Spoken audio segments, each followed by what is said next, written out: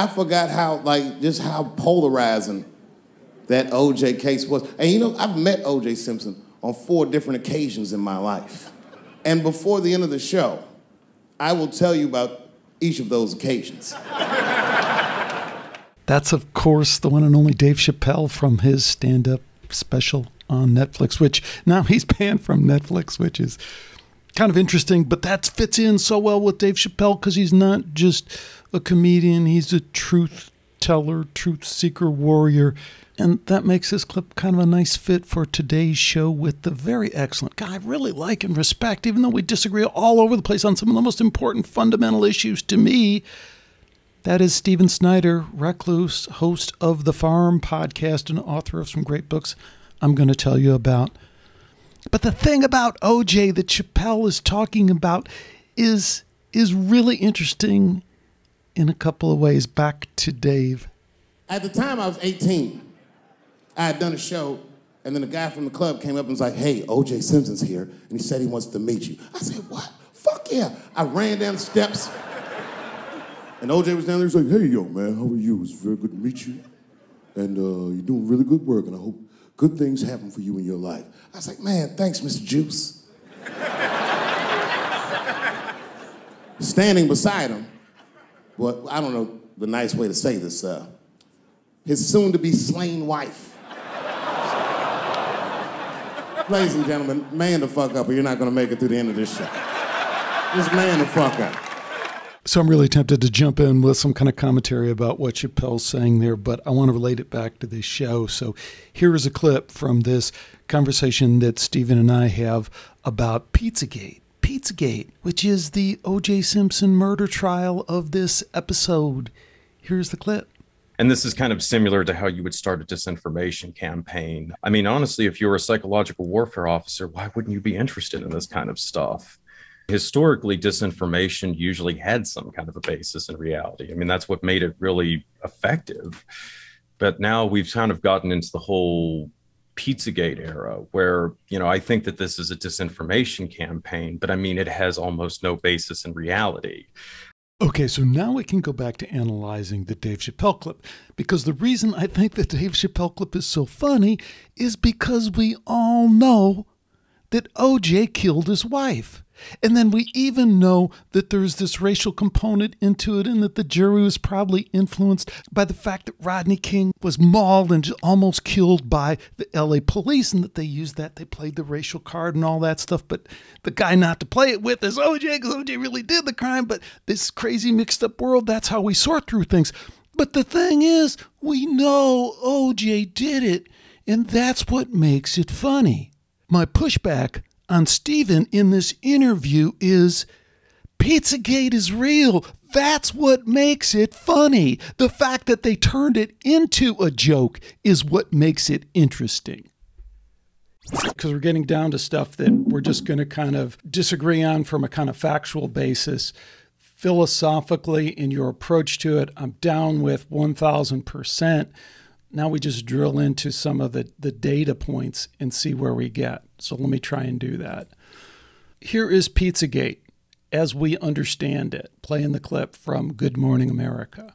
It's a restaurant, a gunman with an assault rifle targeting a Washington, D.C. spot that's at the center of a fake news story about Hillary Clinton and a close aide. Our senior justice correspondent, Pierre Thomas, is there in Washington and has all the details for us. Good morning, Pierre. Good morning, Robin. This case shows how fake news can lead to a dangerous situation. Ed- oh, my God. Oh, my God. Steven, we are completely at odds on that because I believe that is the fake news. That is the story.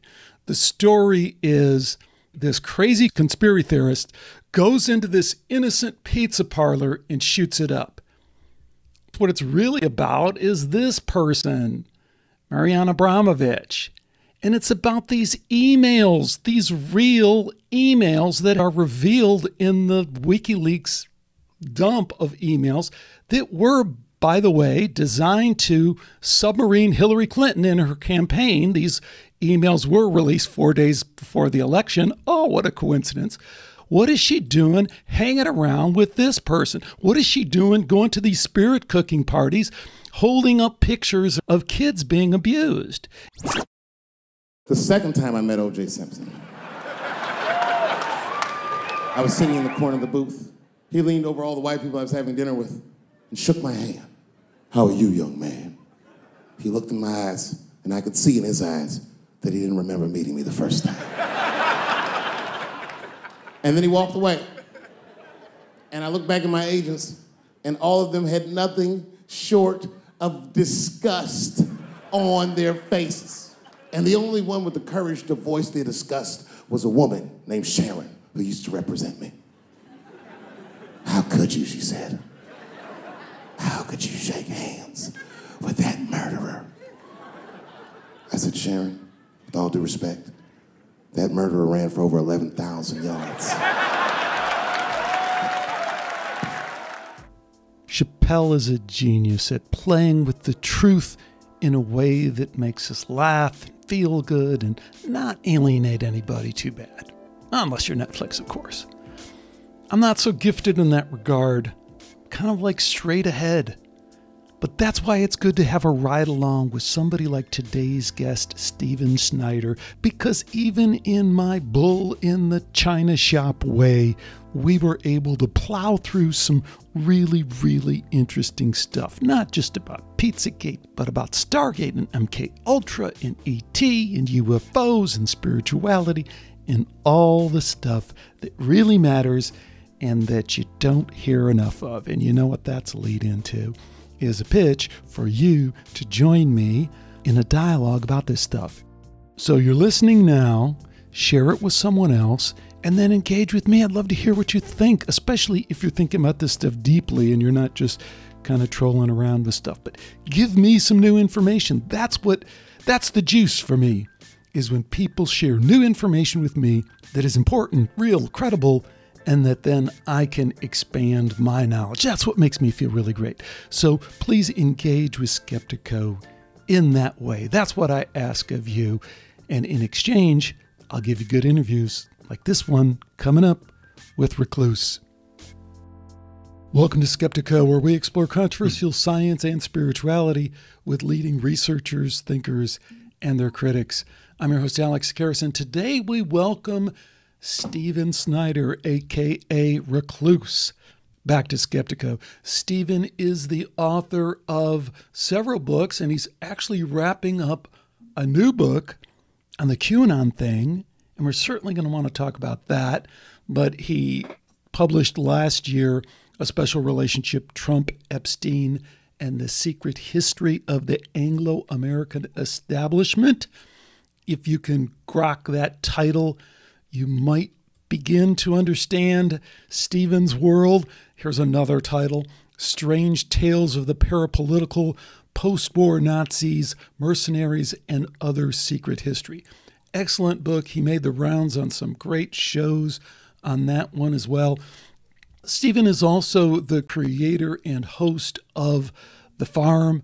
Very excellent podcast deep dive, deep parapolitical stuff, deep conspiracy, paranormal has become the new normal kind of stuff. But what I particularly really, really appreciate about Steven's work, and the reason I wanted to have him on, and we're going to do maybe kind of a different show here, is the trend in this whole topic area is so much towards conspiratainment uh, in podcasting and that has never been what this guy's about. And I feel we share this thing of like, well, let's try our best to figure this stuff out. If you want to listen and it's entertaining, that's great. But what we're really trying to do is figure this stuff out. So that's the spirit I bring to this dialogue. Steven, it's awesome to have you back. Thanks for joining me. Well, thanks for having me back again, Alex. It's always a pleasure to be on Skeptiko. What do you think about that conspiratainment thing? Well, that's actually going to be the heart of the name of my Q book that's coming up, um, The Secret History of Conspiratainment. But yeah, yeah, no, I definitely think that's kind of like uh, the you know direction we're going in. I mean, what Alex Jones is uh, practically the new Rush Limbaugh in 2021, right? So it's uh, it's become quite an industry. Well, you know, and, and I really want to pull that apart because, like, th- this is the thing, and uh, I'm not going to apologize for the level three dialogue we're about to have because we're going to be jumping right in the middle stuff. And then for folks who are like, what are you guys talking about? Go listen to the farm. I mean, these guys do two and a half hours all the time on stuff that's just incredibly dense with you know, citations of factual sources. Here's where we got this, connecting it with this. And I really appreciate that. And the other thing I appreciate that is that, you know, Recluse and his guests are generally coming from, well, not the red side of the political spectrum. And I'm not going to say they're definitely coming from the blue side, but they're kind of leaning in that direction. I'm very apolitical. I do not understand anyone who kind of buys into any of that narrative anymore. It just seems we're so, so past that.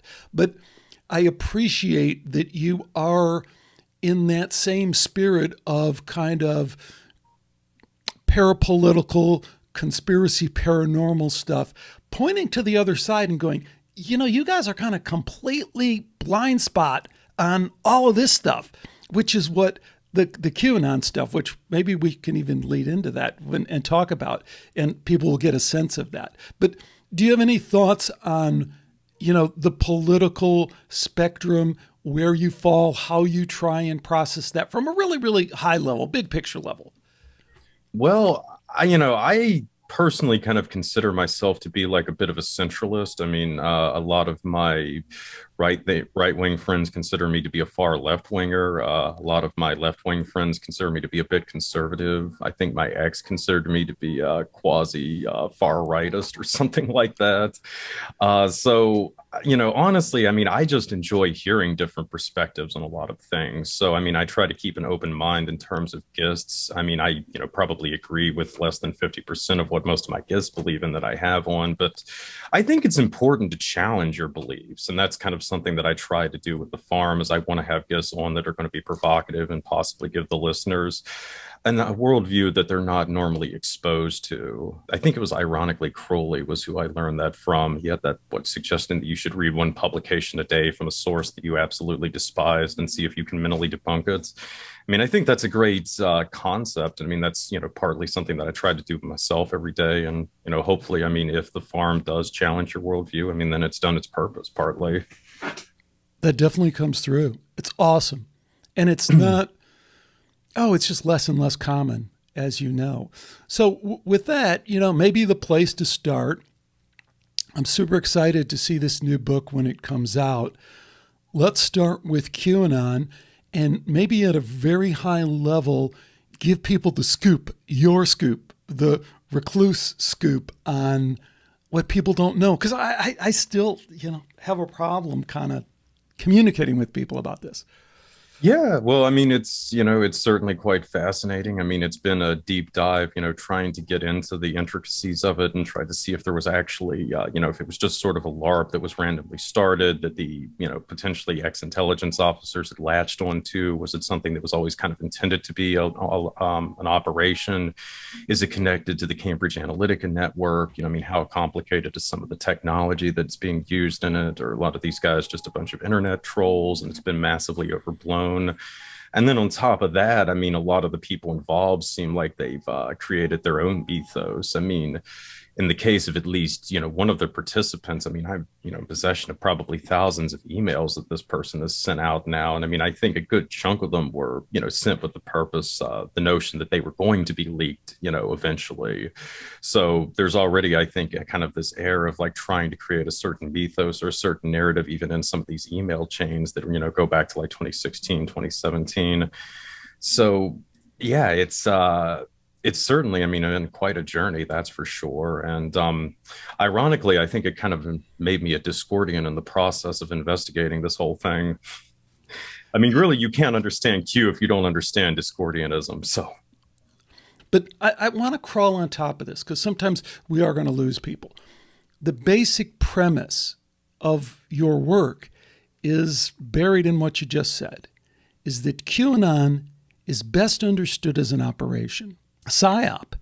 And I always like to say best understood because I think there's another subtlety there that I'm not sure we're in sync on totally. And that's that I'm not sure that all the people that were involved in QAnon, even at a pretty high level, were necessarily in on uh, the operation.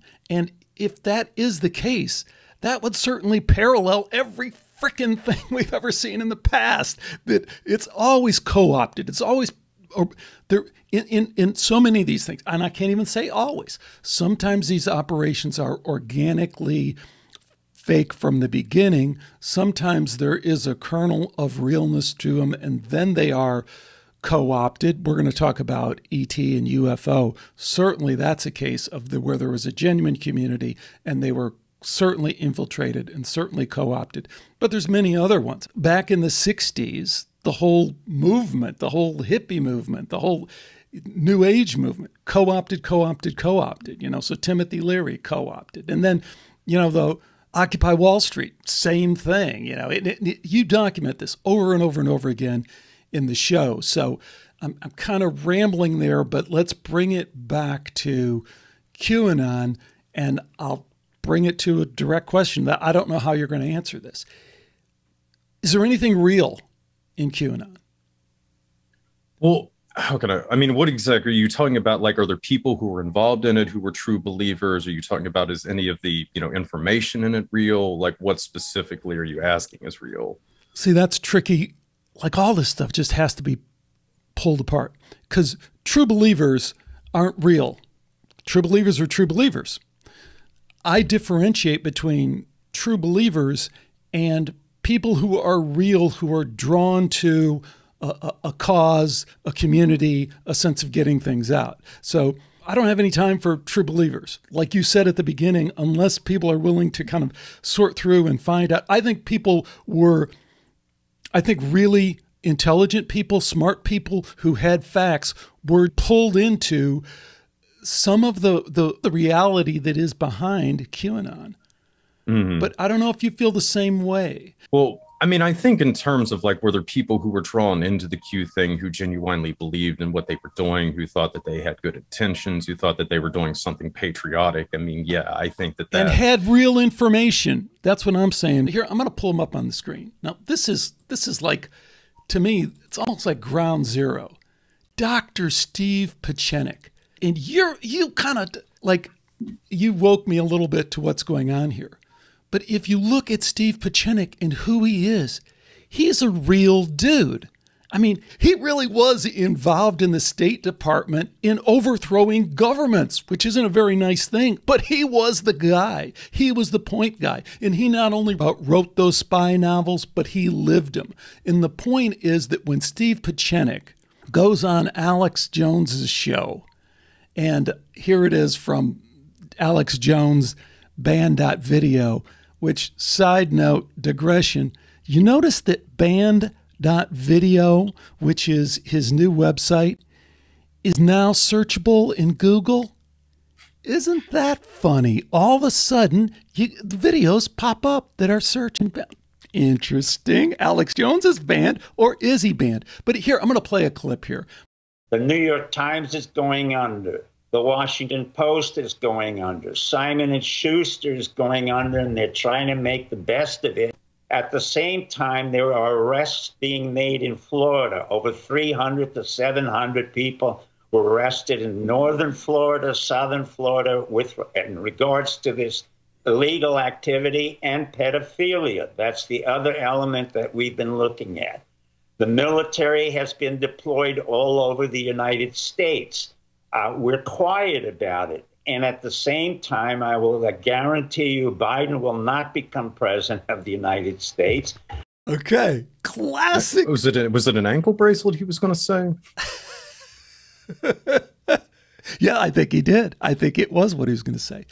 So look, folks, because I, I get into discussions, arguments, debates with people.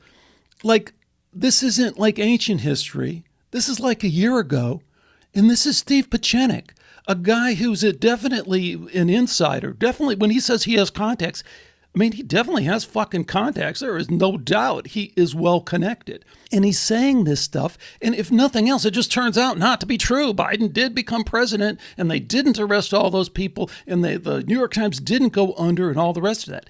this is what drives people who are kind of anti-Q or woken up about it's an operation. I mean, how do we process this, Steven? Let me just throw it out there. How do you process Steve Pieczenik? Well, in terms of like what he's saying, well, I mean, I think actually, I mean, just from years of like looking at the UFO field, I mean, this kind of behavior doesn't really surprise me because I mean, this is sort of indicative of how a lot of ex spooks have operated within the UFO community for years now. I mean, one of the things I've been sort of looking at is the origins of the aviary. And um, obviously, there's been a lot of stories given about that. I mean, a popular one was that meeting in 1986 at Beaver Creek, Ohio, at uh, Ernie Kellerstrauss's place, who was a colonel in the Air Force who had worked at the Foreign Technologies Division for a lot of years.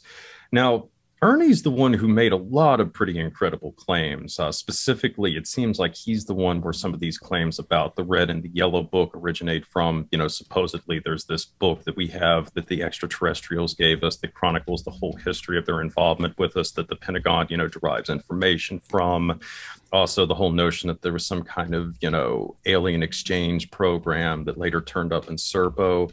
There were two different sources who confirmed this. One was robert collins who claimed that he had heard these tales from uh, Kellerstrauss in 1986 and then bruce maccabee i believe who claimed that he had heard the same claims in 1985 and in turn Kellerstrauss claimed that he was told this by dale Graff, I believe, who was one of the big guys running the remote viewing program in the DIA, and that this unfolded during the late 1970s. So, you know, there's a lot about this. Hey, this guy is saying some absolutely insane stuff, and this is coming from an ex Air Force colonel. And then on top of that, he's citing Graff, who was a big guy in all this remote viewing stuff for the DIA. And as far as I can tell, nobody's ever even bothered to ask Graff if any of this was true. I mean, that's the thing that I find most remarkable about this is Kellerstrauss's claims have been out there, I think, for at least 15 years since Maccabee published Hawk Tales in 2005. And nobody's even asked this other senior CIA officer or DIA officer, excuse me, well, do you think that there's an extraterrestrial book that the Pentagon has that they're using to view the future with? I mean, that seems like it would be an interesting question to ask, but apparently nobody's done it yet. So yeah, but Steven, if we're going to get, if we're, we are going to get into the ET and the UFO thing, but tie it back to, if you can, tie it back to the QAnon thing and the Steve Pieczenik thing, because again, I tell you, and first of all, we are in a different, we are already in a different world, right? This conversation, if you talk to normies about all this stuff, you cannot begin to even have this conversation. So let's at least keep it okay, I'll try my best. I mean, the thing is, is it's like there's been this sort of component with like LARPers and what have you, which is something. Explain LARPers to people just really quick. Live action role playing. So and I mean, okay, you could probably factor in elements like from the Discordian notion of like Operation Mindfuck, which is, you know, a very elaborate LARP or live action role play where you're essentially trying to reorient somebody's uh, worldview through a kind of performance art or something to that effect. So the thing about Operation Mindfuck, which was a total, you know, offshoot of Discordianism and counterculture in the 60s, is that it essentially operates on the same, you know, basic premise as a disinformation campaign does. I mean, the way that, you know, Kerry Thornley and Robert Anton Wilson kind of started a lot of this stuff is they started sending random letters to people in the media. Then they would have other people, you know, were fellow Discordians send letters out and try to create this notion that there was, say, an Illuminati conspiracy in the counterculture. And this is kind of similar to how you would start a disinformation campaign um, with you know the public at large. I mean, there was the um, gosh, the famous psychic spying incident from like the late 1950s, where they had what was it, Jacques Bergier, like plant a story in a French newspaper that the Soviets got interested in about the Navy doing um, essentially ESP experiments with submarines. It doesn't seem like any of this was real at all. It was just a false story that was planted. So, you know, this is something that spooks do all the time and it was kind of something that was probably subconsciously picked up in some way by the counterculture by elements of the yippies the discordians and a lot of these other kind of pranksters. And at some point i mean who knows? Maybe the spooks observed this kind of stuff and saw that it was extremely effective. I mean you know the illuminati for instance almost nobody had really heard of by the late 1960s i believe in 2021 almost 30 million people believe that the illuminati are a real thing in this day and age. So that's a pretty you know that's not a bad achievement I mean, honestly, if you're a psychological warfare officer, why wouldn't you be interested in this kind of stuff? So I think that potentially opened up this whole sort of world to them where, you know, you're seeing this like outright absurdity. And it seems like this kind of factored into how, you know, we were doing disinformation campaigns. I mean, historically, disinformation usually had some kind of a basis in reality. I mean, that's what made it really effective. But now we've kind of gotten into the whole Pizzagate era, where, you know, I think that this is a disinformation campaign, but I mean, it has almost no basis in reality. I mean, unlike something like the, you know, Kennedy assassination or like 9 11, you know, we can question why or who assassinated Kennedy or, you know, who brought down the Twin Towers, but nobody really questions that John F. Kennedy was assassinated or that the towers came down. You know what I'm saying? Like these were actually real events that, you know, most of humanity would agree occurred with Pizzagate, you know, with the conventional narrative that there were dungeons underneath this pizza parlor and that, you know, children were being brought out of there and sold to elites behind, you know, the back of the premise or something like that. You know, this is a fantasy. It's a fable. It doesn't even have a basic, you know, sim- uh, it doesn't even have any real semblance in reality. Uh, I think it was a disinformation campaign that was uh, initiated because of the whole thing with Epstein, because of the stuff with um, Jimmy Savile in the UK, because suddenly you started having this damning evidence coming out. But unlike kind of past disinformation campaigns where you would try to have some sort of basis and reality to it, uh, it was more or less like, let's just see if we can create this full-blown fairy tale that's going to, come, you know, bring in all of these other tropes that I mean, some of these conspiracy theorists have been working on for years, and uh, in a lot of ways, it's it's led to a point where we've moved beyond conspiracy theory and we're now in conspiracy fantasy or uh, conspiracy fiction or whatever you want to call it. It's very interesting.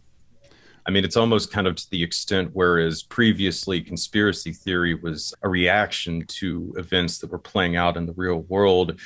You now have conspiracy fable that is essentially dictating the worldview to the public at large, if you will. Okay, so so this is this is great because we're getting down to stuff that we're just going to kind of disagree on from a kind of factual basis philosophically in your approach to it, I'm down with 1000%. Now we just drill into some of the, the data points and see where we get. So let me try and do that. Here is Pizzagate as we understand it. playing the clip from Good Morning America. It's a restaurant. A gunman with an assault rifle targeting a Washington, D.C. spot that's at the center of a fake news story about Hillary Clinton and a close aide. Our senior justice correspondent, Pierre Thomas, is there in Washington and has all the details for us. Good morning, Pierre. Good morning, Robin. This case shows how fake news can lead to a dangerous situation. Ed- oh, my God. Oh, my God. Steven, we are completely at odds on that because I believe that is the fake news. That is the story. The story is this crazy conspiracy theorist goes into this innocent pizza parlor and shoots it up. Let me pull up something else on the screen. But of course, what it's really about is this person, Marina Abramovic. And it's about these emails, these real emails that happened between John Podesta and a bunch of other people, but are revealed in the WikiLeaks dump of emails that were by the way, designed to submarine Hillary Clinton in her campaign. These emails were released four days before the election. Oh, what a coincidence. But they did play a note with Christian conservatives and with people in general and saying, what is this? What is our highest aide to the Hillary Clinton campaign, John Podesta, what is she doing hanging around with this person? What is she doing going to these spirit cooking parties holding up pictures or, or, displaying pictures in their house of kids being abused. And the thing that really surprises me about your answer is the, the idea that this is completely just uh, made, it doesn't have any connection to any real events, is just easily kind of countered. I interviewed this person, Anneke Lucas, who is a real person who was sold by her mother into a satanic ritual abuse cult when she was six years old. And she tells the whole story. And she's not lying because she was sold, she was in, in Holland and she was sold into the Dutroux cult, right? And that was in the papers. And the kids, you'll see them if I scroll down here, were locked in these cages. And the kids actually died because they arrested Dutroux, although he never really faced any serious charges. And they went and found the kids who had died because he hadn't come back to feed the kids. And Anneke Lucas's testimony is completely in sync with that. And she talks about being a, a young child and being brought to these castles and, and identifying leaders, major leaders in Europe. But you know, even you have Brisson on all, all the time, John Brisson. I mean, he'll tell you the McMartin preschool thing and all these things. They or, or the Franklin thing. Those kids talk about going to these big mansions, going to all this. So I just don't know. To me, you're kind of totally falling for the head fake here, and the head fake is the, the people were upset about Pizzagate because of the satanic emails that were directly connected to Podesta. And people who don't think there's satanic ritual abuse, my God, I got so many interviews with including with an FBI uh, agent, 20 years, who infiltrated the NAMBLA group. But all those people will tell you that this is very, very real stuff, and there's people engaged in that. So we're in a we're at a little bit of an impasse, but I think it's an important point because to me, this is the story. The story is Good Morning America. Oh my God, the terrible conspiracy theorists and this terrible fake news and this poor innocent guy who is so deep into this stuff, Alefantis, that, oh, his pizza restaurant got shot up. Where, where are we? How come we're not in sync on this? Well, I'm not sure that we're that far out of sync. I mean, I'm not disputing that there are abuse rings. I mean, I've written quite extensively on the Franklin scandal myself. Uh, I covered, you know, in my book, uh, Special Relationship. I mean, some of these purported parties at mansions in upstate New York that involved minor girls and a lot of this kind of weird eyes wide shut kind of thing.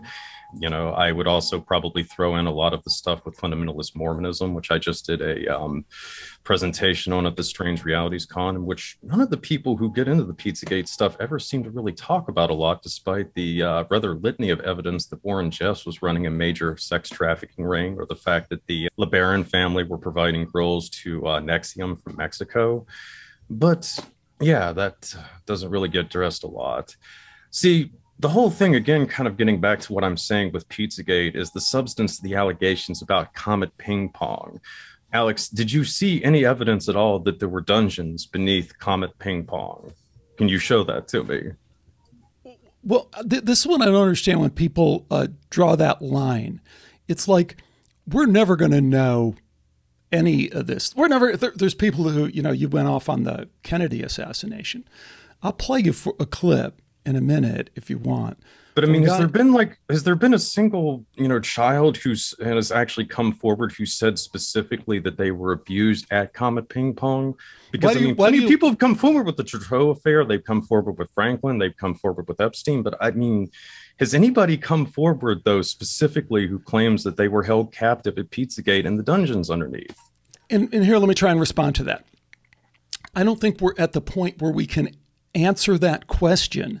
And the reason that we can't, I would suggest, is in the Good Morning America video which to me, you know, we've both covered these kind of things. When it is covered up to that extent that don't look here, don't mention Pizzagate. Remember, Pizzagate was scrubbed from the internet. Remember, James Alefantis became this person that should be defended uh, over and over again rather than investigated. So the emails should have been fully investigated. The source of the emails should have been fully investigated. The implications of the emails should have been fully investigated, but they weren't. And the reason that they and and a method that they that was used to kind of thwart that investigation was this kind of fake news. Oh my God, look at how dangerous these conspiracy theorists are. So we never got to the point where we can answer those questions. So I don't think it's fair to say that. James Alefantis is up to his, I won't even say it. He's up to his neck in this stuff, and he uh, he is not clean, in my opinion. Anyone who goes, you know, they archived all of his Instagram posts, all of his Facebook posts. It is not somebody who's clean. Go look, go have anyone go yeah, look at I'm, that and say and say James Alefantis wants to uh, babysit your kids this weekend. What do you think? anyone would say, fuck no. So, do we know? Do we know if their kids there? No, we don't. Do we know that the whole thing was shut down in a very, a very just standard way that they shut these things down? I mean, yes, Alefantis does seem to have some sketchy stuff in his background. And I mean, certainly some of the other customers that were there but again, I just, in looking at Pizzagate, I don't see the same kind of smoking gun evidence at the specific allegations as to what was happening at Comet Ping Pong as I'm seeing. Why is that Epstein. important to you? Why is it important to you that, that you nail that down to Because needing proof. I mean, shouldn't you demand? I mean, to me, it goes back to the whole notion extraordinary claims require extraordinary proof. And that is a complete, you know what? That's that's one thing that scientists, that skeptics use to attack science. And you know, that is so unscientific. It is, because in science, there's no such thing as an extraordinary claim. That assumes there's some meta knowledge, that there's somebody up there that's deciding, well, that's extraordinary, that isn't. That is extraordinary proof, that isn't. That's the whole purpose of science, is to remove us from the biases that we know we have. I would say that's the same thing in the conspiracy game. We're supposed to be removed from the fact that, you know, we are supposed to be where there's smoke, there's fire, guys. Because if we're expecting to be firefighters and wait for the for the flames to be burning, it's not going to happen. That you, you know what? Like the proof that you have with uh, QAnon, it's all going to be. It's all going to be circumstantial. You do a great job of, of, of, trying to get us as close as we can. But I, I, in my opinion, we're pretty damn close with Alefantis and uh, Comet Ping Pong and the pattern that it that it connects to so many of these other crimes uh, against children. So I, I, just don't know why we have to kind of totally pull up and go, oh my God, that's just, uh, that's fish versus fowl, uh, Pizzagate. Pizzagate looks real enough to me. How come, how come we never talk about spirit cooking? Why do we even talk about Pizzagate and not talk about spirit cooking? That's what everyone was, that, that's what everyone was outraged about. How much? I mean, how much play though online did Spirit Cooking and this stuff get in comparison to the stuff with Warren Jeffs though, or the LeBaron family's connection to NXIVM? Well, you know, if we were going to get into, like, I'm much, much more anti-religion than you are. I think religions are, are, are cults up and down. I, I don't understand, like, Warren Jeffs and Mormonism, extremely, extremely uh, cultish leaning on cultish principles. It, it is. It's just a cult. It just is a cult removed yeah. by a couple generations. And I think the opportunities for abuse there are enormous. I think their connections to the the darkest part of the Catholic Church are well documented. I think the the sexual abuse that goes on inside the the, the Mormon Church, and you can't paint a broad brush, but I, I think it's it's there's just too many accounts of that. Absolutely. Are you kidding me? But I don't understand why people who are of a Christian bent or orientation how they how they seek to separate themselves from oh well that's Warren Jeffs oh that's uh, David Koresh and the Branch Davidians that well that's Seventh Day Adventists no they're all it's all the same origins of the same cult and if you it, uh, you know what? I get into trouble with people who are religious when I say, you're talking about you have a personal relationship with Christ consciousness. And they go, oh, no, no, don't give me that Gnostic bullshit. No, it's Jesus. It's like, well, you're not talking about like a physical guy. I mean, they'd be 2,000 years old. You're talking about some extra consciousness connection that you have. So now we're all in the same soup. But the historical Jesus thing, I, do you think there was a historical Jesus? Do you think that stands up to scrutiny? Uh, I think that's probably above my pay grade. I haven't really contemplated that one enough to uh, really weigh in on it. But I mean, you know, just kind of getting back to like what I'm saying, I mean, it's like, okay, the stuff with the spirit cooking thing is really weird and the art is very provocative. But I mean, as far as I'm aware, you know, we don't have ham hard and damning evidence that there was anything more than performance art to this. Conversely, the FBI has a recording of Warren Jeffs raping a 12-year-old girl on top of a temple altar while multiple one uh, multiple of his wives watched this blessed event. Okay. For some reason, though, despite the other allegations that Jeffs had ranches all over the Southwest, that, you know, underage girls and underage boys, for that matter, were being ferried back and forth to these ranches so that the church hierarchy could abuse them. it doesn't seem like a lot of these alternative investigators care a lot about this kind of stuff, even though the amount of evidence we have of this kind of sex trafficking going on for some of these weird sects in the uh, Southwest is a lot more uh, conclusive and compelling, I would argue, than what we have for Pizzagate. And I mean, you could go into some of the other compounds like Colorado City or, um, Jesus, you know, the whole phenomenon with Lost Boys that have happened or the Kingston family or any of these other groups. I mean, this is sort of like what I find baffling about this is where are all the Q-tards? Where are all the Pizzagate people when you can look at a freaking cult like this? That's, I mean, Colorado City is within, I believe, 40 minute drive of the headquarters of the Best Friends Animal Society, which used to be the Process Church of the Family of Judgments, another cult that also had an uncanny ability of losing children over the years. Isn't that kind of odd that these two sects are within, you know, a freaking uh, less than an hour's drive of one another? I mean, you know, I get what you're saying, but when I look at the well, amount well, of. Uh, I, I, I don't think you get what I'm saying because we should be agreeing. See, I, I think the when you said above your pay grade, number one, it sure as fuck ain't above your pay, pay grade, buddy. You you are a better investigator by a factor of ten than I am, but you are sidestepping the issue, and the issue is Christianity hold up to scrutiny, or as you pull it apart, does it start looking more and more like a cult? And uh, these offshoots that we have of it today are are well, radically, radically over the top cults. So uh, Jeffs and uh, all the rest of that stuff. I-, I got it. But the reason, the answer to your question, why that doesn't get investigated is because at some deep level, you know, I grew up in the in the church, in the Greek Orthodox Church, and let me tell you, you want to talk about mind control? Those guys have, have it figured out. They all do. But it is a deep mind fuck, right? You're 5 mm years old, they're chanting, there's incense waving around. You go up there and you kiss that motherfucker's hand, and he puts the bread in your hand, and it's like, I'm feeding you, motherfucker. And Jesus is up there and he's bleeding with that little cross. And you know the fucking Jews.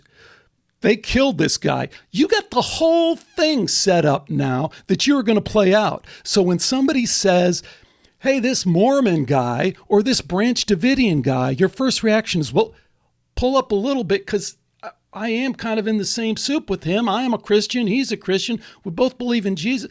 That's the reason they don't go there is because they've been mind controlled into this Christian cult thing. Well, again, I mean, it depends which Christians you talk to. I mean, I a lot of them I've talked to kind of like to distance themselves from Mormonism and probably not without reason. But um, yes, I would agree though with what you're saying. Christianity, like essentially all religions, essentially had its origins as a cult. I mean, you know, that's basically kind of how I think the chain works. You know. Uh, you cease being a cult and become a religion once you've, uh, I suppose, gained a certain degree of official support. So what about my thought? Because I, I really want your opinion on that. I don't just want to rant. I, I, I know that for myself, it's taken a, a lot of uh, processing to get to the point. Like, I'm going to say something. I'm not a Christian. Do you know how hard that was for me to say as an adult, as a grown man, knowing virtually all the things I know now? I, I still couldn't quite get the words out of my mouth for fear that I didn't know what I was afraid of, but I couldn't say it hey, I'm big into near death experience science because I think it shows the divinity. It shows that there is a connection.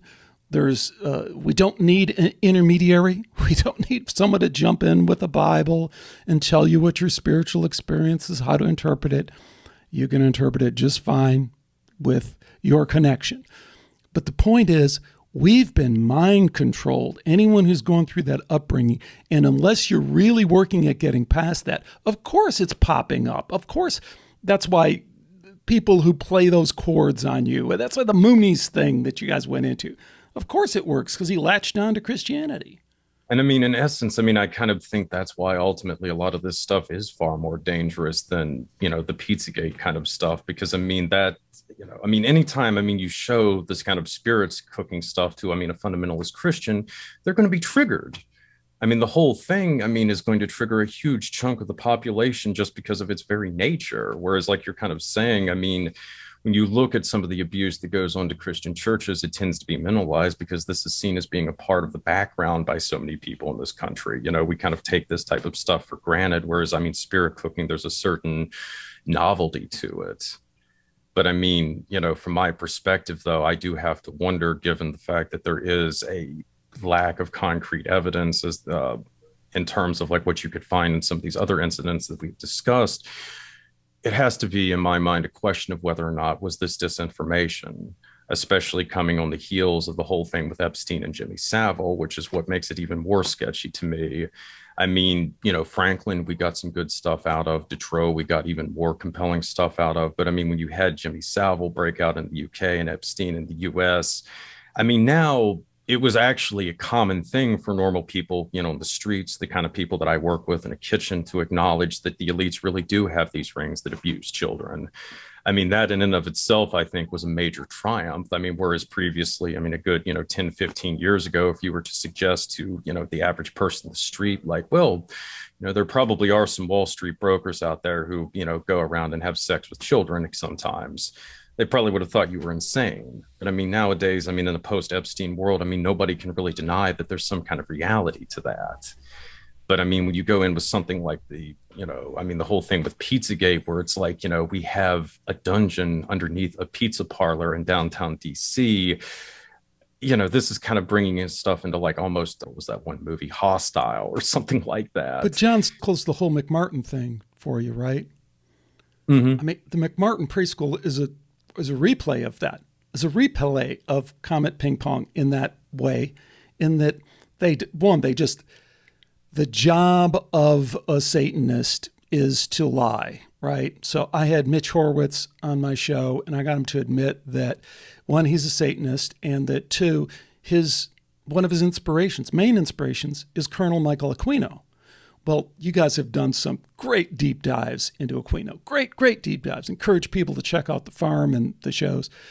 I mean, they're professional liars. I'm not saying Mitch Horowitz is a professional liar, but when you go that route, you lie. That's part of the it's part of the game. It's part of the if I can get away with it, do what thou wilt kind of thing. So McMartin was a lie from the beginning. They just lied their ass off, saying, "No, there's nothing here. There, it's it's satanic panic." And again, John Brisson has got. I got most of my stuff from John on that. Yes, it was. Of course, it was abuse.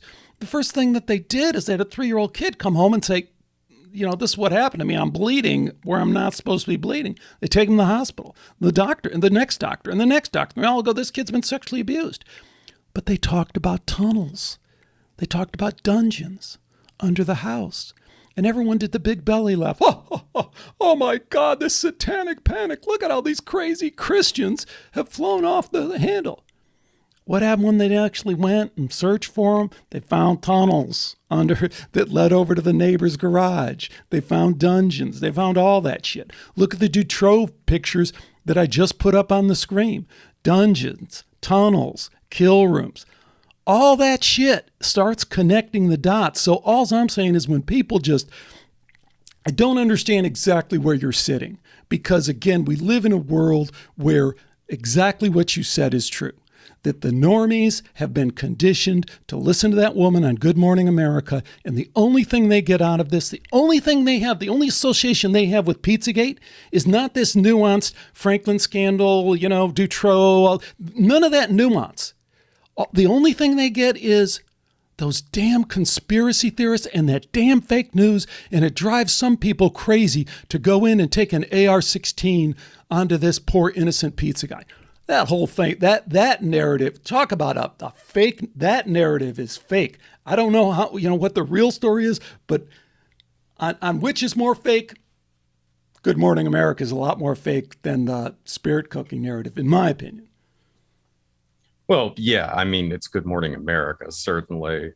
I mean, to me, it seemed like it was a big trap. I mean, to try to discredit a lot of people who have been investigating a lot of this kind of stuff for years. I mean, I suppose in a sense, you know, you could maybe draw a parallel to something like Cathy O'Brien, which also started to become really big, I believe, in the early to mid 90s. I mean, in the aftermath of Franklin, or was it a little earlier than that? No, no, it's it's a huge thing. It's just so true. That that is like you always go right to level three. I don't know what to make of her. I mean, I just don't know what to make of her. Or, I mean, Project Monarch, which is another thing. I mean, I talked to Hank Albarelli about this uh, shortly before he passed away. Hank, I mean, as I'm sure you know, he's the author of A Terrible Mistake, uh, Secret Order. I mean, he probably knew more about this, you know, artichoke MK Ultra than any person who's ever lived. Never found any evidence of Monarch. In fact, uh, he had tracked down the researcher who appeared to have been the uh, first one to have released it into the public, and he acknowledged to Hank that he had fabricated it. So but the flip Have you ever talked to Whitley Strieber or ever heard Whitley's story? You know no, who Whitley is. Yeah, I know who Whitley is. No, I've never spoken to Whitley Strieber. So when I interviewed him, one of the things I didn't know, and it's out there, but he just doesn't talk about it very much. MK Ultra victim, when he was eight years old, San Antonio, Texas, the good Air Force guy come to the parents and say, you know what? Your son is a gifted child. And you guys did the whole gifted child thing on your thing. Have you done that yet? Oh, yeah. How, well, I, am a gifted child, actually. No, I was well, you're a gifted selected. child, but we talked about this. No, I was actually time. selected to be in one of those secret schools. I'm curious. I'm serious. I, I, I, believe it. I've talked to other people. You know who else is a, a gifted child in that way? Is uh, Freeman Fly? You know, Freeman. I'm not sure if I'm familiar with him. Uh, he's got a good got a good show, and he's been around for a long time doing this stuff. Same thing, Freeman. I'm telling Freeman about this thing and the gifted child. And you know, the gifted child, you know, Epstein was gifted child. Wouldn't surprise me. He was. He was, and at a young age, you know, thing. So, uh, and, and Freeman Fly's uh, thing, when we say gifted child, you know, like, did, did you ever wind up going in any programs or any special classes or anything? I took the testing for it. They were actually going to send me to one of the special schools, but my uh, parents decided against it because of the distance between where we were at and where the school was at. I think it would have been like over an hour commute or something like that. So dodged probably for the best. Yeah. Kind of eternally grateful for that one. So uh, Freeman Fly, for people who know him, he's a uh, gifted child. They put him in a special room. Check this out again, there's no proof, you know, and this doesn't sound nefarious. You know, K- Kaczynski, you know, you, we talked about this last time. Unabomber, gifted child, right? Mm-hmm. Unabomber Ted Kaczynski, gifted child, and then goes to Harvard and you know as part of the MK Ultra. Freeman fly back to it. He goes to a, a room like kindergarten, and they just have him memorize these index cards all day long him and the other guys. He goes, I'm looking back on it. I don't know what they were doing, but they just memorizing index cards whoa, in a way, you know, to me, that's spookier than the spookiest ass MK Ultra stories you hear. Because from an educational standpoint, what possible benefit is there in well, memorizing? It's, interesting, but it kind of seems like memory is a big part of this. I think, they have, noticed- I think they have so many different programs. I, am going to stop digressing. Return to Whitley Strieber. So Whitley Strieber is probably the one of the best known uh, UFO abductees there, his story, he stayed with the story. He has physical evidence. He has uh, an implant that he's had and he photographed it. They've done x rays on it. But it, what a lot of people don't realize is way back, he's nine years old, and the Air Force guys in San Antonio come and say, Hey, buddy, your kid ought to come in. They bring him in, and it's horror story, right? Kids locked in Faraday cages, kids being shown animals being killed right before them, the whole trauma thing to create this uh, split personality, uh, you know, uh, dissociative identity thing, which comes up again and again and again. You hear it, and then Cathy O'Brien spins that, but she spins it in such a fake, fanciful, fanciful way. I don't know if she's legit or not, but so much a part of her story just can't be corroborated. To me, that seems like a co opting of the story. Whitley does not. Whitley comes back and he's shattered. The only reason he, he gets out of it is because he gets really sick. So they send him to a hospital, and his mom comes to the hospital and goes, We're pulling you out of that damn thing. But apparently, his parents tell him that after a couple weeks, when the uh, when the Air Force guys would show up at the house, he's nine years old. He would be hiding up on the roof because he didn't want to go with them. But he, somehow he was programmed not to tell his parents that he wouldn't do it, so he was just doing it through this action. But the other thing that Whitley's doing is Whitley, when this whole thing happens years later, he's like trying to put together the pieces, which again is so true and does ring true with the Cathy O'Brien story. Is these people are kind of crushed so they don't sound super credible in any way because they're just fraction of, of what they were. But he goes to the kid across the street who was also in the program. This kid never leaves the house, dies at 50 in the house, just couldn't leave. And he finds another one of his friends and he goes, Yeah, it's true. They came to my house too. But my parents said no when they heard about uh, uh, Skinner, you know, the Skinner, B.F. Skinner kind of thing. So he was able to piece the pieces together. But here's the other thing about his story. Then he went down to Mexico and he remembers them taking him down to Mexico and being with the being on these things where there were these kids. Again, you talk about the child sex trafficking and the whole mm. uh, mm-hmm. finders. So especially the thing with Mexico.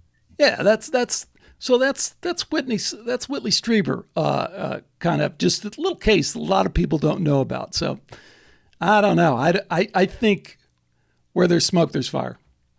Yeah, and that's I'm not trying to dispute that there isn't a reality to the allegations, but kind of like what I'm getting at with like the whole thing with Monarch.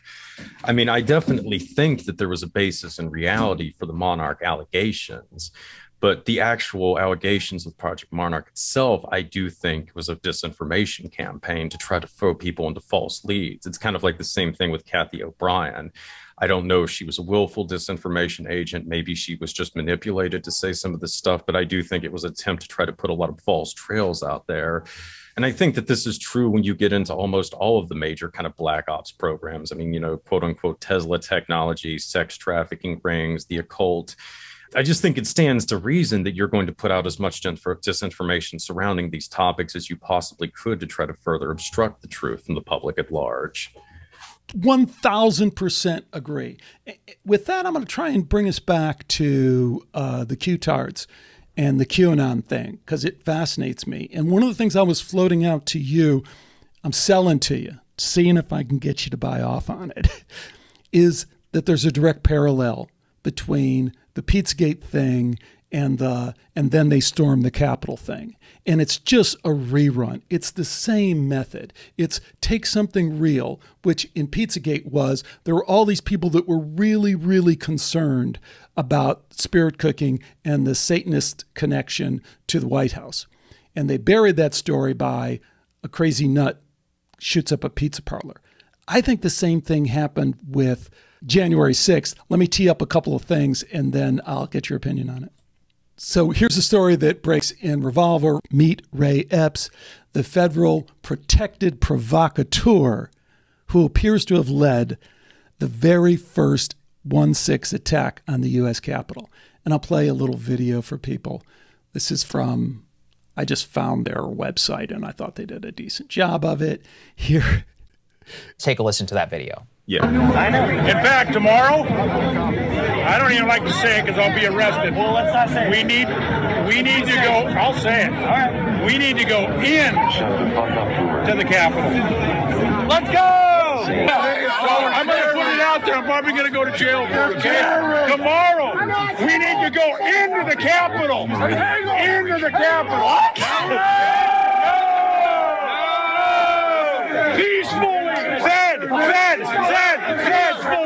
fed, fed, fed,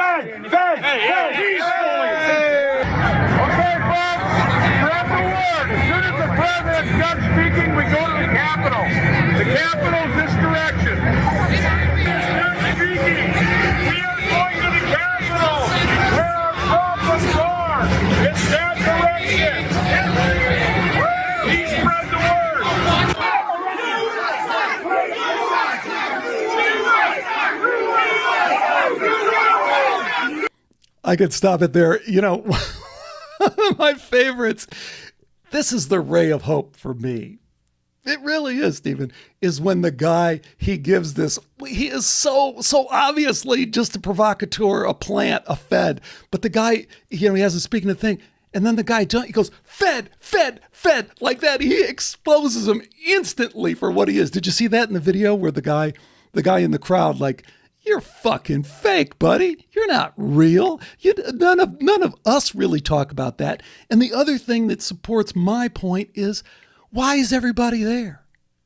Everybody's there because they're not real comfortable with a voter turnout of 106% in Wisconsin. And they're not real comfortable with uh, you know, being 400,000 votes ahead in Michigan, and before you can even count all those votes, uh, through a machine, the thing swings the other way. People were mad because, by any international standard, this election looked fake. I don't care. I didn't vote for Trump. I didn't vote for Biden. I think the whole thing is a joke. I think Trump is a brand. I don't think he's a political figure. Politics do matter, but I'm not coming at it from that. I'm just coming at it from a kind of science perspective where I sit and go, the numbers, if, if this was a, a, an election in Iran, we'd just be going fake. It's fake. You don't have a 95% turnout. You don't have a big swing like that. But the point I'm making is that that's what they were protesting. That's what they were protesting. So the whole narrative churns into, and then they stormed the Capitol, these crazy conspiracy theorists. This is a repeat of Pizzagate to me. What think you? I mean, first off, it's just the thing about the election with the 2021 that was so striking to me is just how open it was that there was fraud in it. I mean, I think that there was probably fraud in every US election. I mean, you know, at least for the last 100, 200 years or whatever, if not like all the way back to the origins. But I mean, yeah, the fact that I mean they really didn't even make much of an effort to try to cover up the fraud this time around was just so staggering about it. I mean, I what do you make think, of that? What do you make of that? I mean, I think you almost would have had something like this either way, regardless of who prevailed. Because I mean, I think that you know, if Biden won, I mean, as it ended up being the case, the Trump side would not see him as a legitimate president, and then conversely, if Trump had pulled it out, the Biden people would not have seen him as a legitimate president. So. I think that, yeah, I mean, kind of from the beginning, there was always this sort of effort, you know, and arguably, I mean, it could go back to when Trump assumed office in 2016 with the whole Russiagate narrative. I mean, it kind of seems like, hell, I mean, we could maybe even go back to the birth certificate, but I mean, certainly, I think with, uh, you know, Trump's presidency, there was this whole push to try to make it seem like the president himself is not legitimate. Uh, therefore, I mean, everything kind of uh, coming from the government is not legitimate. So, you know, it's an interesting kind of state of affairs. And this has only been kind of ratcheted up with this just bizarre street theater surrounding the uh, 2020 election and its aftermath. What do you, what do you make of their burying the story? Because no one talks about what, what you, again, what you said you and I can talk about, and we're both nodding our head. Most people don't get that. They, they, they do not associate and then they storm the Capitol with election fraud. There is no longer that connection. It's just not there. Well, I mean, I think to some extent, though, I mean, the public has maybe, because I mean, again, you know, we obviously had the questionable elections with uh, W. I mean, obviously the 2000 election, the 2004 obviously. election. Obviously. Uh, I mean, I kind of think to some extent, I mean, even though it's been sort of covered up, I mean, there has been a certain resignation from the public that, I mean, there is this kind of fraud. Um, gosh, what was that survey that they did? I mean, about eight years ago, where it was revealed essentially that the American public no longer had any bearing on foreign policy or really any kind of policy anymore. But I mean, yeah, I mean, there has been that whole sort of disconnect where, I mean, it's just the elections really are just kind of a sideshow. So, I mean, I think to some extent people take that for granted. But I mean, yeah, it has kind of become this. I kind of see what you're saying. I mean, it's almost like there was no reason, you know, in the sort of narrative that's being put out now uh, by the mainstream media for them to try to storm the Capitol without sort of understanding that, I mean, people, you know, a lot of the people that went there for the rallies, I mean, were there for legitimate reasons in the sense that they had real concerns about the election fraud or other factors involved in it. And you know, and just in general, I mean, that's the big thing I think about the January 6th, you know, incident that's so unsettling in a lot of levels is just the whole process of dehumanization that's been, you know, uh, embarked upon for the people who uh, participated in it. I mean, obviously, there were some people there who were real scumbags. Uh, Sean Moon, uh, one of the uh, heads of the offshoot of the Unification Church, kind of comes to mind. Alex Jones, Michael Flynn. I mean, a lot of these same cast of characters, and those are the same people that will probably never do a day in jail over any of this or face any kind of serious consequences. And to some extent, I mean, I think even the media has tried to rationalize their behavior but uh, you're going to see a lot of average everyday people. I mean, some of them have already been horrendously tortured, and you know it's probably going to continue. And more to the point, I mean, it's also kind of creating this you know mindset that uh, anybody, I mean, who legitimately questions the outcome of the election is this sort of nut job. Even though, as you're kind of saying, I mean, there is ample evidence that this election was tampered with, as many of them leading up to it were tampered with. So, I mean, yeah, it is kind of interesting to see how you know we just sort of kind of embark upon this continuous push to try to like depict legitimate grievances as being like uh you know just coming from this place of insanity if you will. You know look, with that let's return to qanon a little bit and the research that you've done because i wanted you to tell people i've learned so much from your show. I've learned so much from your research. And you kind of turned me on to a bunch of stuff about QAnon that I found very interesting in terms of it's impossible to trace it back. Well, in terms of like what the people involved, their beliefs, you kind of do get back to a lot of this stuff with like Michael Aquino, with I mean General Paul Vallely, and I mean it kind of goes into this whole concept of mind wars and that type of stuff. But I mean specifically, I mean one of the things that I've really been looking at a lot uh, you know was the ties that a lot of this seems to have to the association of former intelligence officers uh, which is again a thing where you see a lot of the people in the Q thing that they had membership in or they had addressed. I mean obviously there's robert david steele the recently deceased robert david steele. You have people like eric prince michael flynn who are addressing this but I mean, it also ties into a lot of the people with the aviary. I believe Hal Puthoff was a member of it. Uh, John Alexander is a member. Michael Aquino, not an aviary bird, but uh, certainly a guy who traveled in the same circles, was in the AFIO. And, uh, you know, you got some other interesting people in there too. Uh, I believe actually Mary Farrell, of all people, was a member of the Association of Former Intelligence Officers, and uh, Peter Levenda. And there's Peter another thing. There's another interesting thing about the association too, and that's the fact that a lot of people involved in it were never spies. They're basically just con men and grifters. Uh, one of them was a guy called James Angleton Jr., who claimed that he was, I believe, the grandson of the famous spy master that uh, the Matt Damon character in The Good Shepherd was based upon, and who had a lot of inside information from his grandfather on the uh, real history of the government's involvement with extraterrestrials.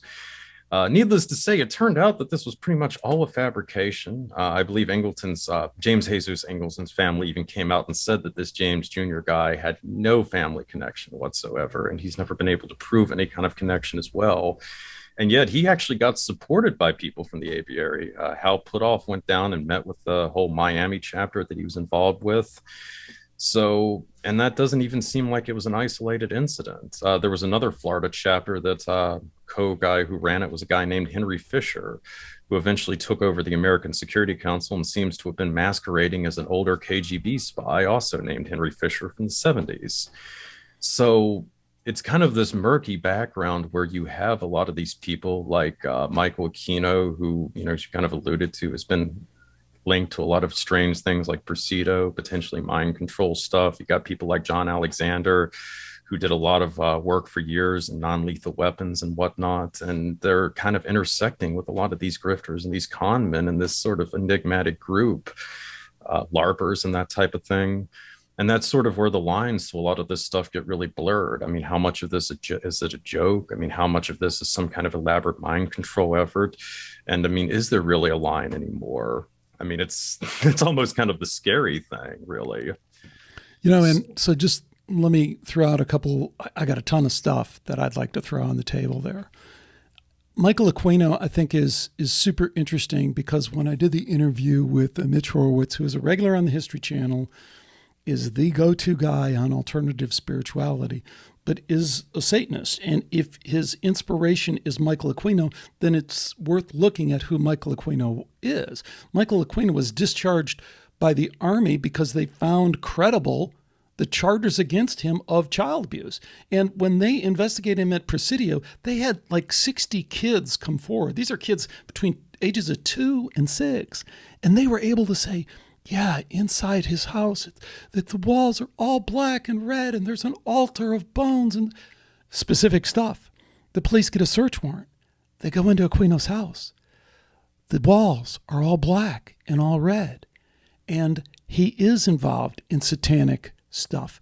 He has a really weird family. Again, uh, uh what are we to make of that? Again, I'm not Christian, so I'm not even sure what Satanism is. I just know there's some energy that you can tap into out there. That I don't know this, but it seems to me that it's highly suggestive that there's some energy you can tap into that takes people in some pretty evil places. And it looks like Aquino was definitely involved in that.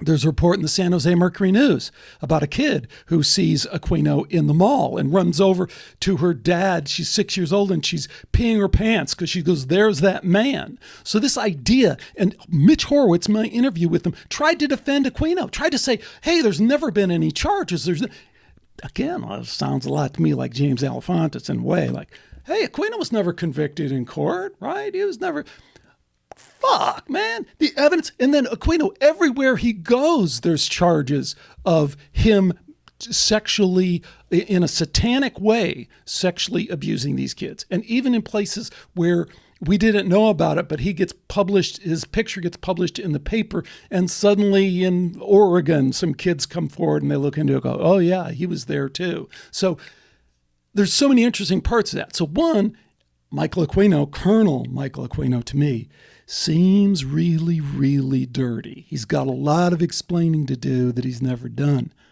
The thing that's really hard to, I think, for all of us to process is he was Colonel Michael Aquino.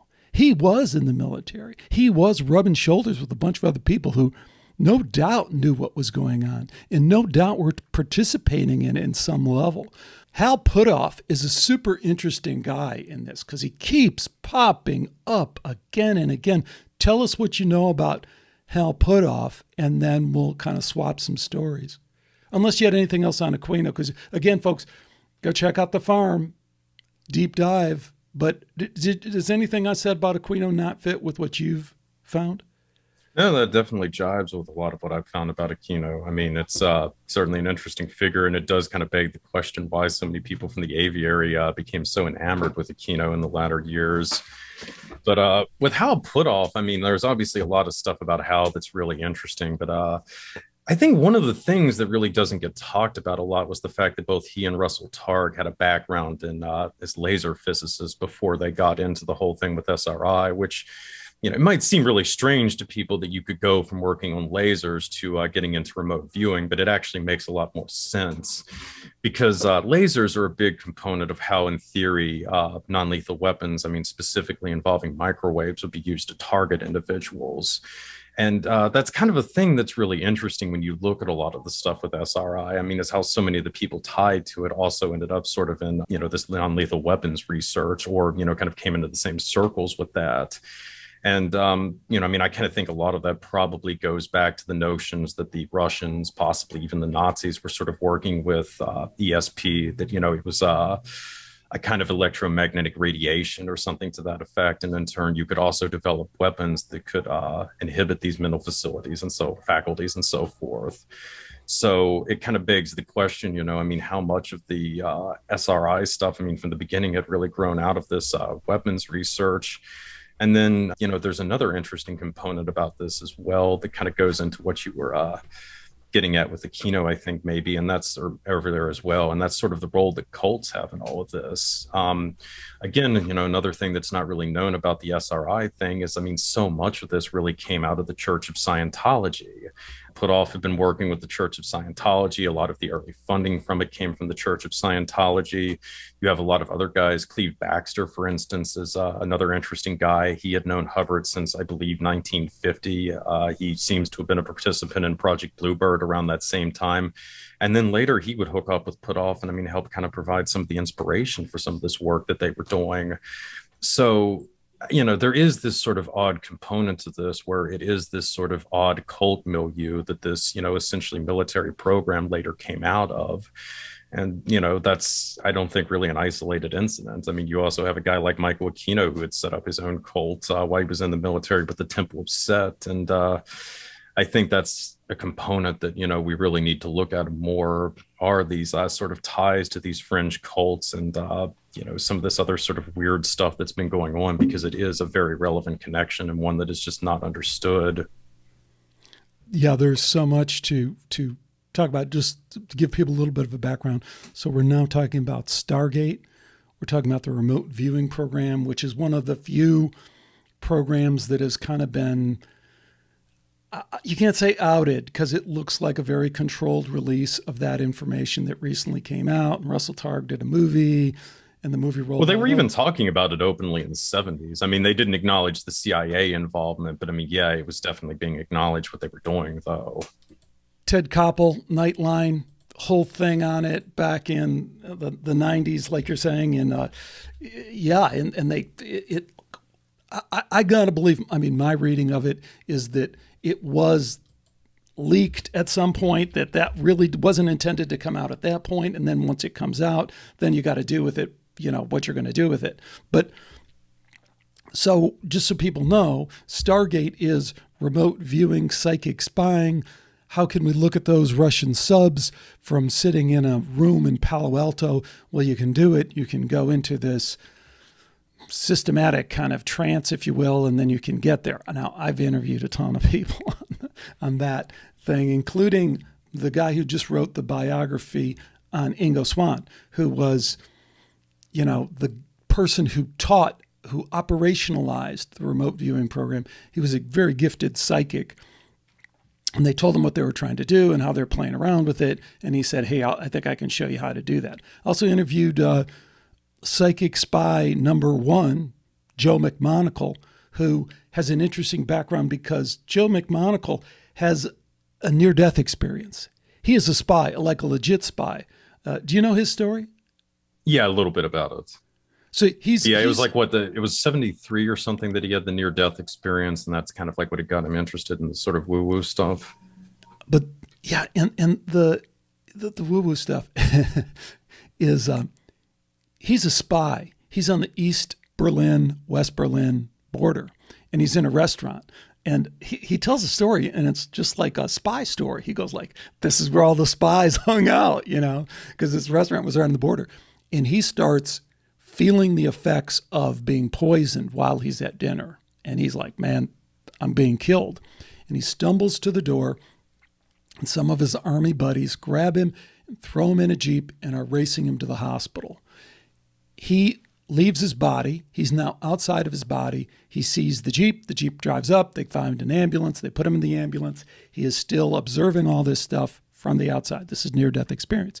He goes, he has a rather incredible near death experience, a spiritual near death experience, connection to God near death experience, all that stuff.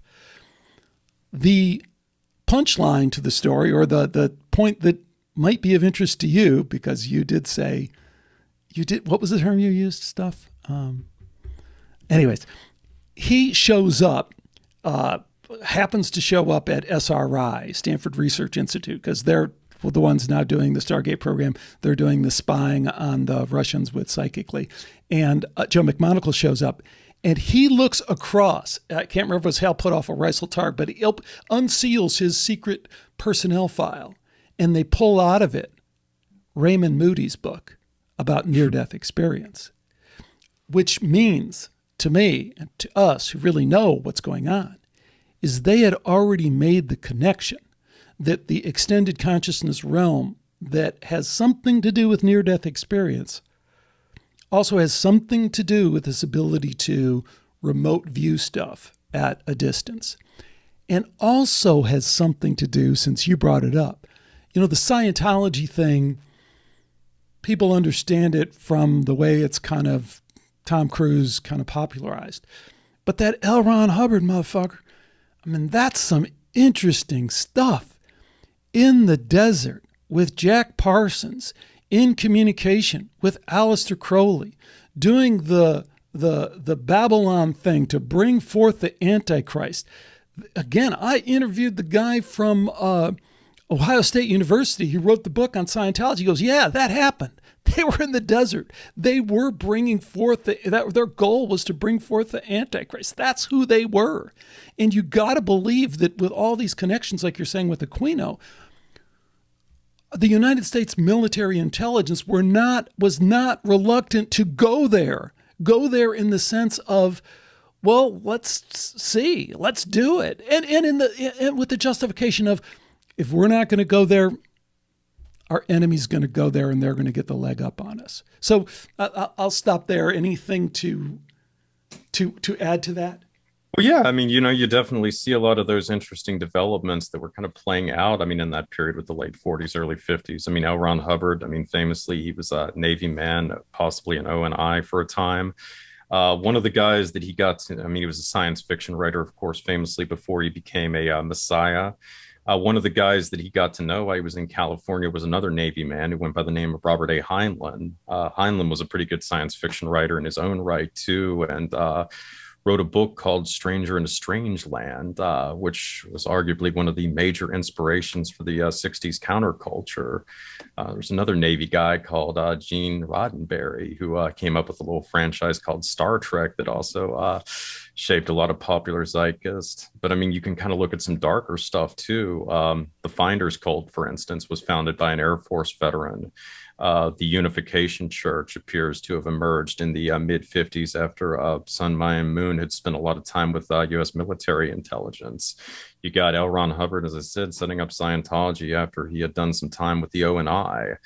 Uh, you know, more recently, you could look at something like the Order of the Nine Angles. Um, the guy who set it up does appear to have been involved in uh, the British component of Operation Gladio during the late 60s and early 70s.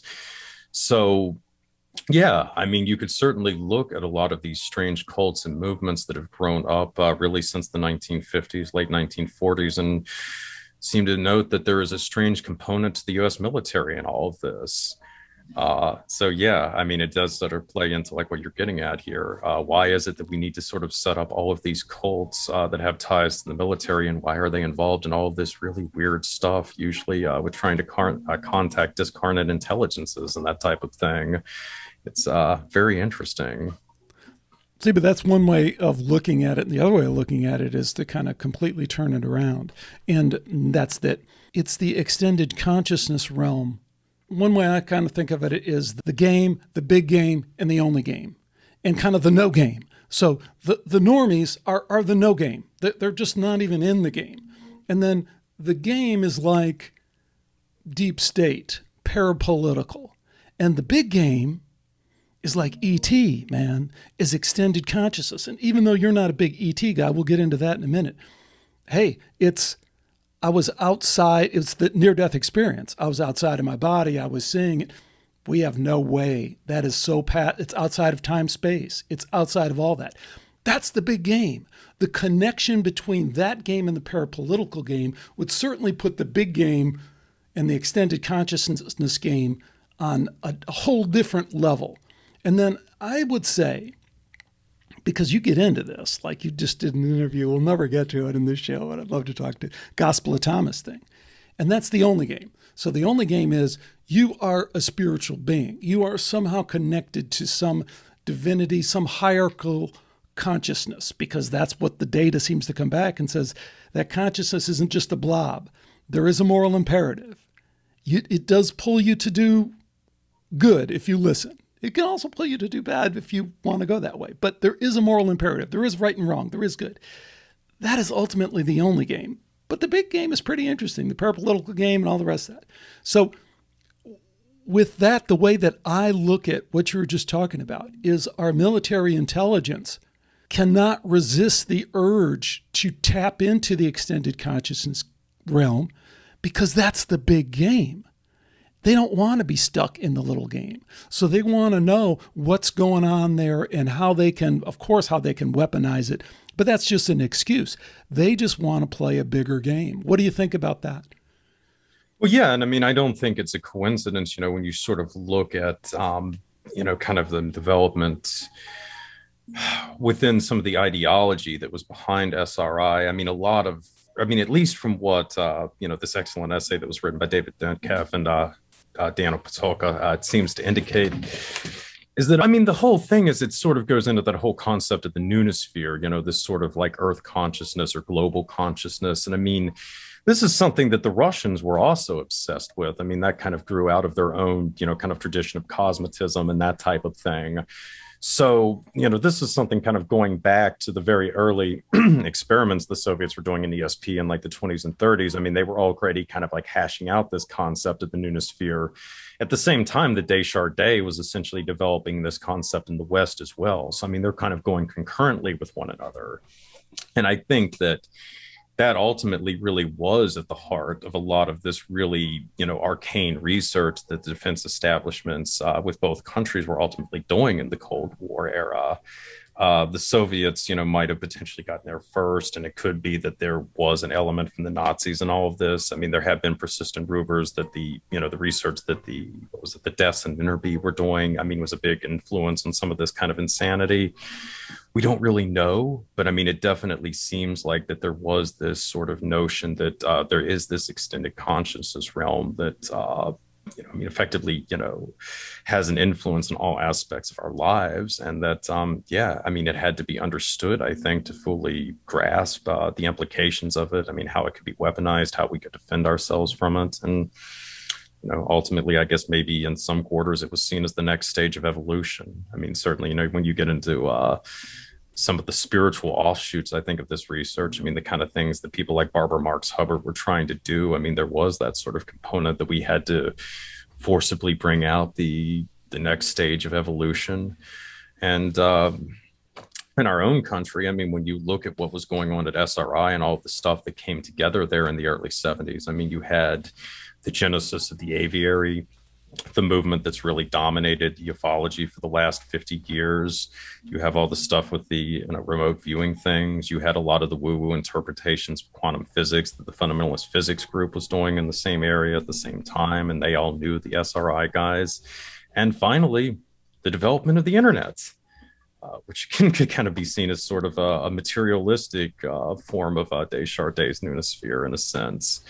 So, I mean, that's all going on right there. And I mean, you have people like Jacques Vallée who are involved in almost all of it. Yeah. I mean, I don't think tricky. that's a coincidence. Well, it, but it, it, it, it's tricky. And I'm, I'm very, I want to pull it apart. I'll start with the, with the UFO thing because there's a different, there's a different potential narrative there. Let me share some things with you. I don't know how, what order we'll get them in. So here is UFO researcher Grant Cameron, who, do you know Grant Cameron? Yeah, yeah. I'm not super familiar, but I've read a little bit of his work. So we were, we're, we've had a lot of interviews, exchanges, and stuff like that. And I was kind of with him more before he kind of jumped the shark with the consciousness stuff and just sees everything as consciousness. But the reason I, I think Grant is important here is Grant's a Canadian researcher and he has some legitimate documents that were released through Canadian FOIA. And we believe that there's reason to believe, and it makes total sense, that these were only released, one, accidentally, and two, because they were in Canada and they just weren't hip to what's going on. But the documents primarily center around a guy named Wilbert Smith, who was running running the Strange Desk in Canada. Have you ever heard of Wilbert Smith? Oh yeah, he was involved with Project Magnet, right? He goes to he, he goes to the Prime Minister of uh, Canada and says, "Hey, I've been telling you about all these weird sightings we've been, you know, pilots are coming back with. We got to figure out what's going on. He goes, Oh, yeah, buddy, go down and see the Yanks down there, see what they got. So he goes down, he meets with Vannevar Bush, he meets with all the a- aviary people, as it turns out, which aviary, of course, is going to be co opted, of course, is going to be made to look like a fake operation because it's real. That's how it. If it's real, then it's going to be co opted and faked and misinformationed to death. But the original memo is instructive because the original memo that he writes, Wilbert Smith writes to the prime minister when he gets back, he goes, Yep, UFOs are real. It's the highest priority, super secret thing that the U.S. is looking into, higher than the hydrogen bomb. And by the way, this is the one thing that Grant deserves a ton of credit for picking up on. Is there is a mental phenomenon to this that they're exploring. The reason I think that's significant is I think a lot of people overlook the fact that MK Ultra and in particular Stargate, one of the goals of it was, hey, ET seems to be talking to us telepathically. All the contact we have is they're not you know, is telepathic. We need to un- start understanding this extended realm because that's what's that's what's up. That's what's going on. It points to the reality of that. The other thing that points to the reality of that is, of course, uh, the, the testimony that we have of thousands and thousands of people who have come forward and said that they've had direct contact sightings, and you have people who have multiple witnesses and all that. And it just, I, I want to stop there because I, I got a feeling that you're kind of not down with the basic fundamental reality that people are collectively not only seeing UFOs, but having contact having multiple people witnessing the same contact, having uh, Travis Walton be in the logging operation in Arizona, and all five of his buddies go and jump in the truck because they see him zoomed up in the craft, and they go, "Get the fuck out of here! We're all going to be killed." They just killed Travis, and they go back, and and the, the, what rings true about their testimony is they go back and they're going to get arrested because the the sheriff goes, "Uh huh." So tell us again how you killed Travis. They go, no, man, we didn't kill him. He's up in this space. Lie detector test. They all pass it.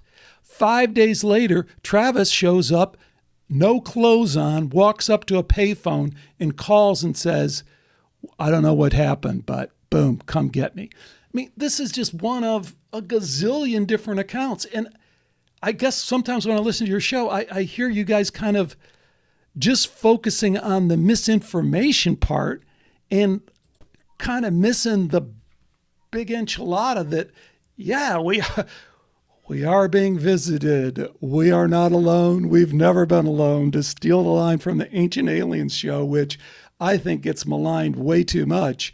Sure it's not perfect but we are not alone. We've never been alone. And that's a better way to begin to look at the data than to look at it partic- just from a to build it up from a parapolitical standpoint the better way in my opinion is look at it as a top down something is happening in that extended realm and we don't know what it is no i would absolutely agree with that and i mean that's you know something that i've really started to focus on i think especially in the last year or two um, I think probably having enough conversations with Chris Knowles about um, astrotheology has probably contributed to that as well. Um, but yeah, I mean, I'm just kind of fascinated with this whole notion and this, you know, kind of uh, esoteric tradition of communication from the stars, uh, really going back to the earliest uh, practices in uh, antiquity, really. Uh, you know, obviously, it kind of goes into the whole thing with scrying, and I mean, just how much of, uh, you know, I mean, so many of these I mean, almost cultic faiths that we've sort of talked about. I mean, Mormonism sort of grew out of this. I mean, the angelic communications with John Dee and the Enochian magic, which has formed so much of a tradition of uh, Western magic, grew out of a lot of this kind of stuff. But I mean, yeah, you know, there is this sort of ancient notion that uh, humanity itself, our spirits, our consciousness, whatever you want to call it, actually does come from the stars, that it goes through this sort of process uh, to incarnate here on the earth, and that we can summon things from other planets uh, to us.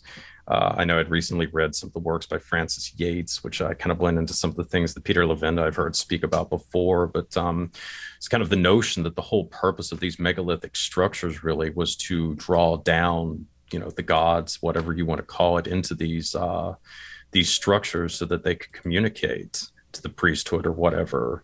Which again, I mean, seems like it's absolutely incredible, and yet uh, when you look at so much of our modern world and how you know the extent to which we try to almost recreate a lot of these megalithic structures in a lot of our major capital cities and so forth i mean you're almost left with the inescapable conclusion that there is this sort of ideology and belief system within the ruling elite that still continues on. Um, and yeah, I mean, I do think that to some component, to some extent, uh, that is at the heart of a lot of, of what is going on it is you know this tradition that's been with humanity since practically time immemorial that uh, i mean it seems like almost every significant ruling class is ultimately latched onto at some point or other. So yeah i mean that is kind of something you have to look at in all of this. Uh, see I'm, I'm with you to a point. I'm just wondering if we're kind of code speaking it there because when we start talking about ruling class and stuff like that to me, there's a different message that's the fundamental question on ET is good ET versus bad ET, evil versus divine ET versus evil ET, demons in the in a interdimensional thing or more like us. You know, you talk to Whitley Strieber, and uh, you know, I think he's a pretty good go-to. He's not 100%, but it's like his thing is like, oh, they're just one step beyond us good, bad, multiple agenda, multiple species, multiple different planets, all that stuff. And that to to kind of ascribe the superpowers to him is to kind of miss the boat. Here's Grant Cameron in the part that I guess we don't I don't necessarily agree with Grant so much. Let me play it. UFO researcher Grant Cameron. We go back to the fact that there is just experience. That's all there is. If you take a look at, we talk about the, the evil alien. Okay, so we say there's evil aliens. That's the general impression. And, and if you go and you do the free survey, you see that 50, 84% of all experiencers say if they were given the chance to have it stopped, they would say no. Only 9% say it's evil. And 9% is not zero, but it's getting pretty close. There are no victims, there are just volunteers. It's all experience. I appreciate the distinctions you're making. I just I mean, you're, you're saying at some point we have to move to something else. So, what are we moving towards? Here's the kicker and the important part for, for people who don't believe, like so many of the academics, they're humanist, materialist, atheist paradigm, and they don't have to deal with any of this shit. But for people like you and I who acknowledge an extended consciousness realm, when somebody tells me, yeah, I'm I'm abusing these kids, and let me tell you, this spirit being, this entity in the extended consciousness realm, and he's really into it too. And he's bringing all this power into the group, and he's doing these physical things. And if I do this ritual in a certain way, it brings even more power me, into me. And that's my download, he says. That's my experience. Okay, where I was getting at with that rant there is that. Uh, there's a whole the UFO community is really divided on this issue. I think if you look into it, it's the good ET versus bad ET. ET is some kind of spiritual savior. It is the prototypical God light near death experience that is going to save us, or it is you know what they're peddling at Peter Levenda and uh, Tom DeLonge are peddling, which is it's a threat. I interviewed Richard Dolan, who I have a lot of respect for. Let me play a little clip from Richard Dolan. We met with the guy at the DOD, but he's a whistleblower. All the information he revealed, well, none of it's classified or top secret. The, the, the kid who took innocently took a selfie uh, being inside the submarine, he's in prison. And this is the biggest thing ever, oh, even though it happened 15 I, years I ago. I wouldn't say that Elizondo necessarily classifies as a whistleblower. I don't know. I mean, he, um, all of these people are self-serving. So the, the folks at TTSA, it's not like you know they're all angels and they have no other ulterior motives what they do. All these guys who are the military, that was their pledge. Are we at a different point where we've totally given up on the idea that we need to hold these people accountable? Is that just kind of out the window? Oh man, good question. We're we are in a post constitutional phase. I mean, look, we're in a an upside down world where what I, I call this thing now legal illegality. That's really what it is. It's like this legal. And so you get the point that I was trying to make there. The TTSA to the Stars Academy, Tom DeLonge gets turned into all these TV shows, you know, all these things. It's just bullshit. It to me, it's so clearly a political psyop, right? It's so clearly all the same players. Who's on the stage with Tom DeLonge? Our friend Hal Puthoff? And you mentioned, um, I mean, they're all, it's all intelligence again. And it's, you know, the Wernher von Braun. It's the next threat. It's the next boogeyman is E.T. I don't agree with Grant Cameron because I think in the ET accounts are also, you know, Richard Dolan sitting there. He's talking about his wife got raped by ET, right? So if you want to go there, if you want to kind of throw that out the middle, middle, if I just jump the shark on that, if I cross the crazy line, whatever. But man, you go start investing those, investigating those accounts, and uh, no, it's hard to sidestep all that data too. So good ET versus bad ET. Where do you come down on that?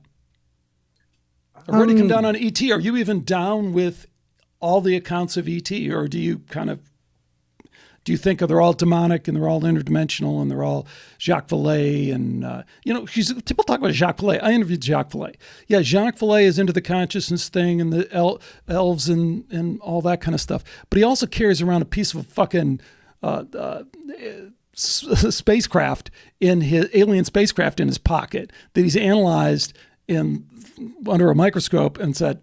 There's no way we could ever manufacture this.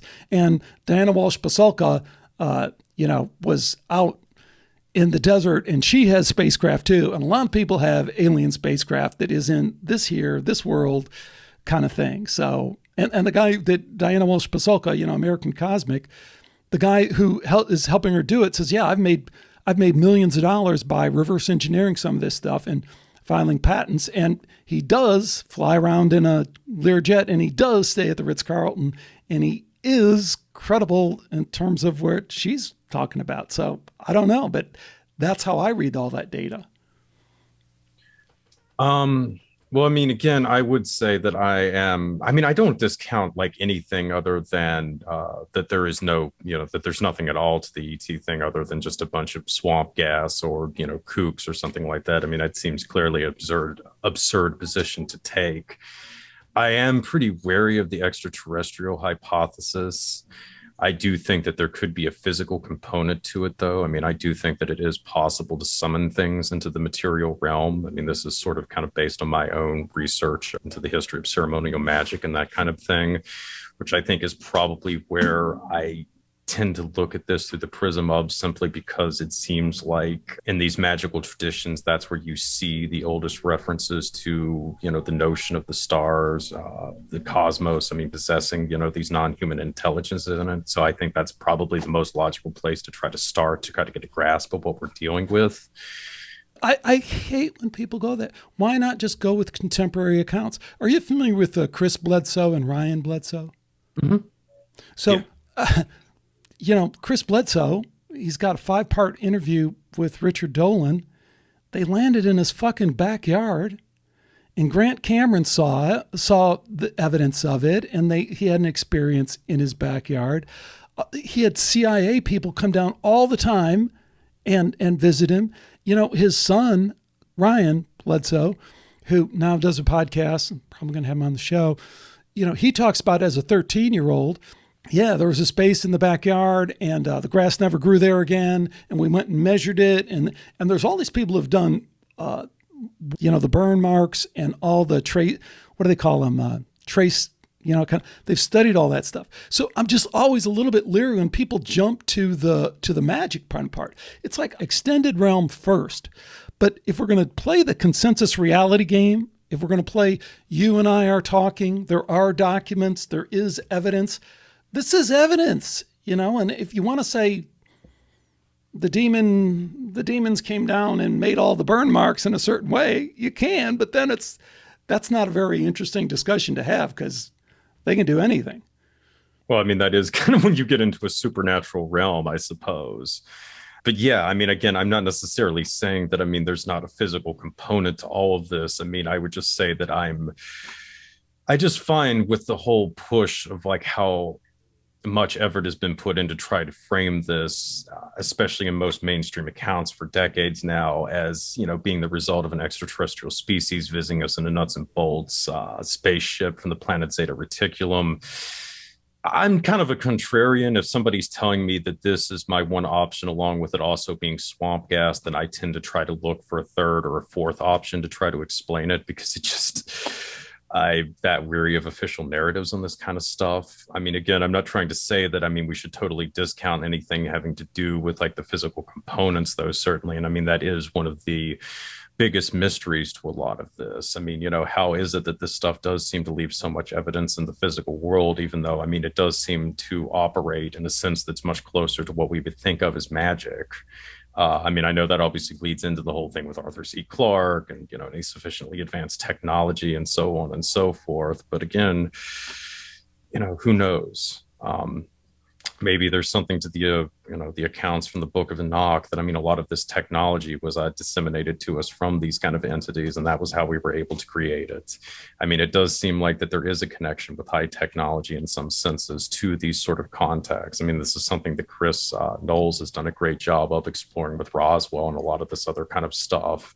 I mean, it is an obvious component to it, and you know, I don't know. That's all I can really tell you. I don't really know what the answers are to that. Yeah, than yeah. None of us, certainly none of us know. I you're doing fantastic work. I just can't say that enough. And I think the light that you're bringing to this from a kind of deep dive parapolitical, bring the parapolitical to the middle, which you do, and which you said in the very opening introduction, which I read all the time in your work, is that people want to paint you left, people want to paint you right. What you're doing is trying to hit the damn ball right down the middle of the fairway, uh, kind of thing. I'm not a golfer, but I like that analogy, and and, and constantly questioning everything. So, uh, when is um, when are we going to see the the book on QAnon? Because I think it's going to be fantastic. I'm hoping soon. Uh, I mean, I'm trying to get into like the last little bit of revisions now, but I'm hoping probably in January or February. I really wanted to get it out for Christmas, but there's just too much stuff I've still got to add to it. But uh, and you know, kind of getting back to the question you had earlier about like the morality of all of this, I you know, again, we're dealing with a non-human intelligence. At least that's my opinion. So I don't know, you know, necessarily is it going to have a sense of morality the way that human beings have, or you know, a sense of right and wrong or anything. I don't know that you can even apply that. I don't know that we, you know, are necessarily even capable of understanding the motives for why some of this stuff is done. Uh, I mean, I know, and again, it's not necessarily the great comparison, but I mean, does an ant, you know, truly understand why we inadvertently step on it? Probably not. Uh, it just is. So I think that's a super important point. You know, I just had that discussion the other day with a guy I interviewed I really like who's just purely coming at things kind of from a spiritual, actually from a law of attraction kind of spiritual kind of thing. But what you say it is really undeniable. It's from a rational, logical standpoint.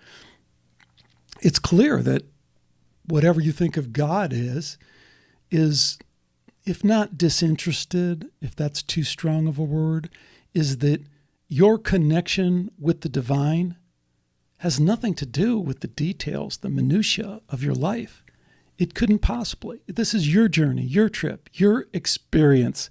And as we just look around, everyone's doing it doing it differently and you know I, I so i agree with you 1000% that to try and apply our puny little idea of what moral morality is is really tricky. But I got to throw the but in there. Like you look at near death experience science, which the interesting thing about near death experience science is medically we understand that those people are dead. Don't let anyone tell you they're not really dead. They're dead by every means we've ever measured death. And yet their consciousness continues to operate in some way. And what they uniformly come back and say is yes to the morality, yes to the to the thing I think most of us just feel in our soul is that humanity is supposed to do good things. You're supposed to take care of other people. You're supposed to love other people. You're supposed to connect. That comes through when uh, look at little kids know that, do that. So yeah, I, I don't know what ET's NDE looks like, but my hunch is ET's NDE looks a lot like your and my NDE. Do you have any thoughts on that? Well, again, I don't know if we can really, you know, again, I mean, is human morality, I mean, the same thing as, I mean, another species or another kind of consciousness? I mean, again, I don't. I don't even know if we have any way to assess that to be perfectly honest. I uh, I mean, maybe it's possible. I mean, if we're correct on all the stuff with the noosphere, and I mean, it all is some kind of collective consciousness that's intertwined with one another, and then perhaps ET is simply operating on a higher sense of morality that we can't, you know, necessarily comprehend. I don't know but I mean, I do believe that you know there is sort of an innate uh, morality within humans. You know, I don't know that that can necessarily be denied. But yeah, you know, when you kind that of sounds that sounds like a lot of humanistic dribble. I mean, what the, the what I'm doing is pointing to the data, and the data is scientific data. And so the first scientific data is that near death experiences strongly suggests consciousness survives bodily death. So the whole thing we're conditioned to in school is to, you know, you're just a biological robot in a meaningless universe. There is no meaning to your life. There is no meaning to anything. You have to get past that or you're not even in the game. So we get past that, we get past scientism, and then we start asking the questions well, what is this extended realm? The best data we have, again, is this near death experience. And you start looking at the accounts broadly, like Dr. Jeff Long, and look at the nderf.org, where he's compiled thousands of them and he's analyzed them statistically over and over again, what they come through with a high degree of statistical significance is that this is what they're telling us. They're telling us it's about love more than anything else. They're telling us it's about connection more than anything else. And you can tease that out with, well, did they see that in the movie? Did they see that? And it, the data still comes through and says that that's what it is. As a matter of fact, the data is kind of misreported because everyone reports the tunnel, everyone reports all this other stuff, and it kind of comes through in this humanistic way.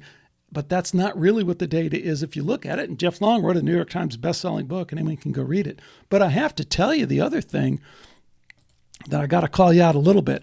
I think you're sidestepping the data on ET because Jeff Long hooked up with Ray Hernandez and they did a similar study of ET contact.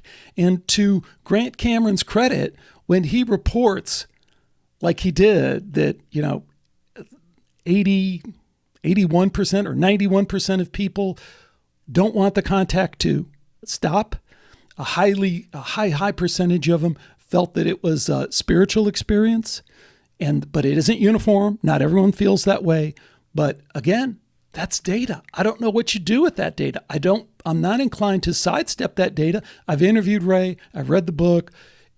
I don't know how you do it better, but if somebody wants to go replicate it and come up with some other data, great, we'll throw that on the pile. But in the meantime, you got to follow the data. And the data on NDE says hierarchy of consciousness. And the data on ET says probably more good ET than bad ET. Like, like, is that should that be a surprise?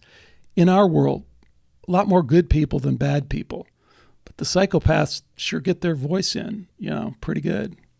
Hmm. Well, I mean, and that is the question. I mean, you know, I can only really kind of relate this to my own personal experiences. I had an OBE probably around the time when I was three or four years old, and it was a frankly, it was an awful experience. It's uh, probably traumatized me for my entire life, to be perfectly honest. But on the flip side of the coin, I probably wouldn't be sitting here doing this interview with you uh, if it wasn't for that experience. So you know, the optimist in me likes to think that I had to go through this horrendous experience because there was something in my future that I had to do that I needed this experience for. And hopefully, something benevolent was guiding me towards all of these ends so that I could do what I needed to do. Now, that could just simply be sophistry on my part because I need to try to rationalize why this awful thing happened to me. Uh, again, I don't really know, but you know, certainly it does seem that there are negative experiences that go into all of this you know that definitely is something that can't be denied and it's something that i think a lot of new age types do tend to overlook. But i mean you know in the grand scheme of things maybe there is a purpose to the negative things that happen. Maybe it's just like it is in the real world or in i should say manifest day-to-day life for us uh, those of us in our meat suits where you know most of the people you encounter in day-to-day life are pretty decent and may try to help you and there are some people who are just really assholes for whatever reason. But uh, again i don't you know you would kind of hope that uh, when you got to that level of conscious achievement or something like that you would be above this sort of petty malice but i don't know. I don't know either. And I, and i do want to come back because this is there's a subtlety to this that we all have to play out. I really really agree with the point that you're making before because I think the churchy kind of uh, it's all good, uh, Jesus loves me, yes, I know, because the Bible tells me so, is out the window. And the only possibility is that it is beyond our comprehension. And in, invariably, that's what all the NDErs say. They say, I knew it all, I had all the answers. Then I tried to pack it back into here, and I didn't. And lo and behold, that's what a lot of the ET contactors say. Ray Hernandez, who had a direct experience with ET, that's what he says. And Ray Hernandez is not a chump. I mean, he's a lawyer. Uh, he's got degrees from Stanford and I don't know where else, but knew everything when he was out to, outside of space and time. Come back in this form, and it's like, da, you know, back to being just kind of an ordinary person. Uh, we'll wrap it up. I cannot recommend uh, more highly The Farm if you're at all engaged by this kind of dialogue. Heck, this guy has these. How often do you guys put out a show? Uh, we do it once a week. Man, they're amazing. Uh, uh, amazing. You just did a thing on crypto and it like completely turned my world. I don't want to say crypt upside down because I was never into crypto, but it was like, oh my God, truth teller, truth teller, truth teller. Fantastic show. Peruse, you will not you will not at all be disappointed. We'll look for the book. What else should we tell people about, Steven? Uh, well, I mean, I've also got my longtime uh, website, uh, View, which you can find at visiview.blogspot.com. Uh, I haven't been able to do as much with that as I uh, would like to have in the last year or so, but hopefully we'll be getting back to uh, some more regular updates soon. And uh, yeah, I might be having another uh, podcast coming out here in the next couple of months as well. We'll just have to see how all that goes. But yeah, it's uh, going to be probably a busy 2022 for me, I would imagine. Fantastic. Well, I appreciate you coming on and, and engaging in this kind of grilling. I mean, it's I don't know how Oh, else to fine. get to the bottom of this stuff. I mean, you got to kind of hash out the stuff that you don't exactly see eye to eye on. Otherwise, it's just more the kind of yeah cheerleading. Oh yeah, I mean the world would be pretty dull if we all agreed on everything. So Absolutely. Massive respect for what you do. Thanks so much for being on.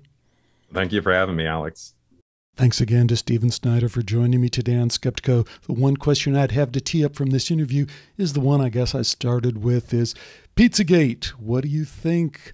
Pure disinformation campaign or disinformation disinformation campaign to distract us from what's really going on? As I said in the intro, would love to hear a deep dive engagement on that. If you got real stuff, bring it and connect with me. It's fine to say you like the show or something like that, or you appreciate it. You've been listening for a long time. I, I love to hear that, but I don't care. what I really want to know is I want to know something new. Tell me something new that I don't know. Join me on the Skeptiko Forum. Join me over on the new Telegram. I'll, I'll see how that works if I can really find a way to engage over there. But connect, connect with me and help us grow this community. I got some good ones coming up. Please stay with me for all of that. Until next time, take care and bye for now.